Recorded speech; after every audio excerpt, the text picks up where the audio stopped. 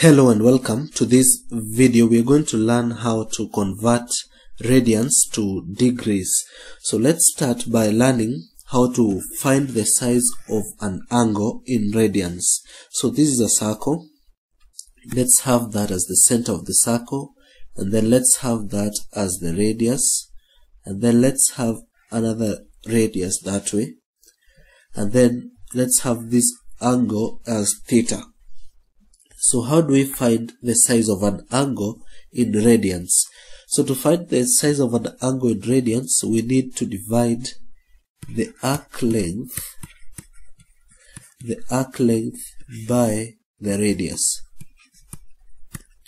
So the arc length is the distance from this point to this point, okay?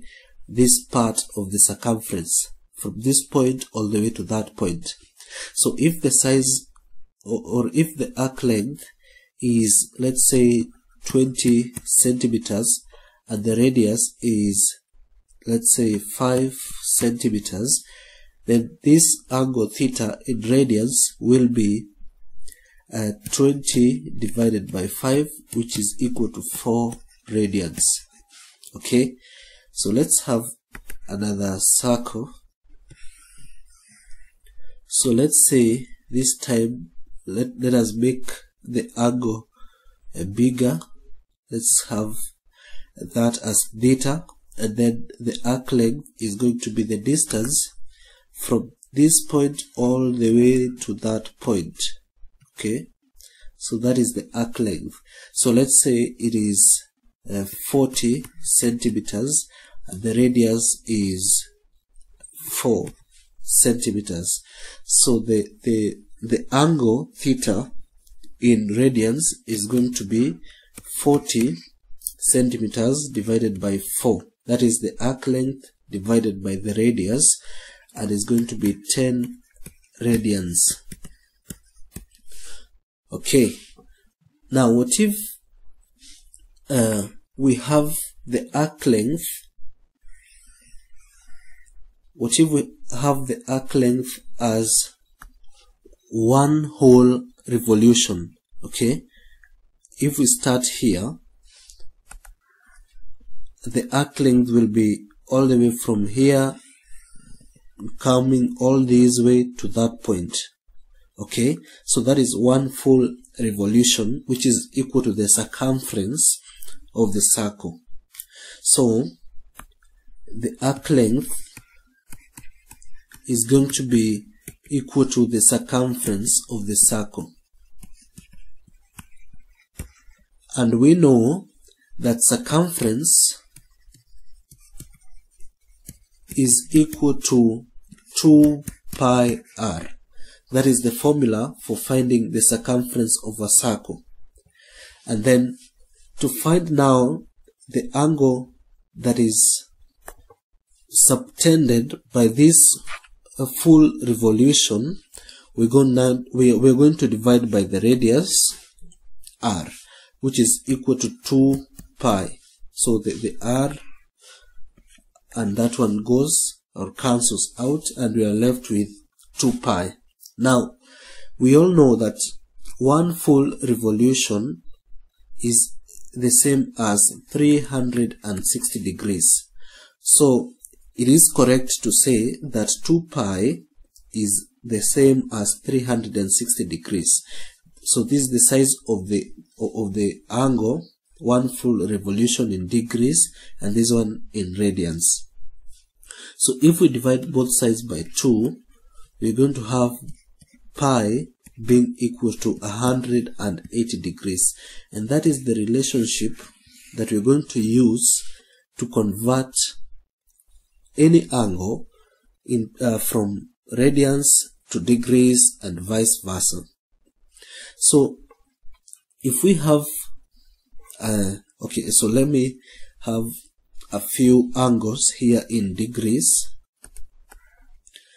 so 30 degrees uh, let's have uh, 80 degrees 240 degrees and also let's say uh, 300 degrees. Let's convert each of these four angles into radians using this relationship that we have found out. That is pi is equal to 180 or pi radians is equal to 180 degrees. So if pi radians is equal to 180 degrees what about 30 degrees okay? So we cross multiply so it's going to be 30 over 180 pi. But we can simplify this. So the 0 and the 0 goes and then by 3 1 by 3 6 so 30 degrees is the same thing as a sixth pi radians okay let's go to 80 degrees using the same procedure that I've just shown you. So if pi radians is equal to 180 degrees what about 80 degrees? So you cross multiply it's going to be 80 divided by 180 pi radians. And then the 0 and the 0 goes and then we can now simplify this. We can divide by 2 which is 4 by 2 it's 9 so 100 or 80 degrees is the same thing as 4 over 9 pi radians. Okay? Let's go to 240 probably you can work this out by yourself. You can see that it's not difficult. Uh, so okay let me free up some space here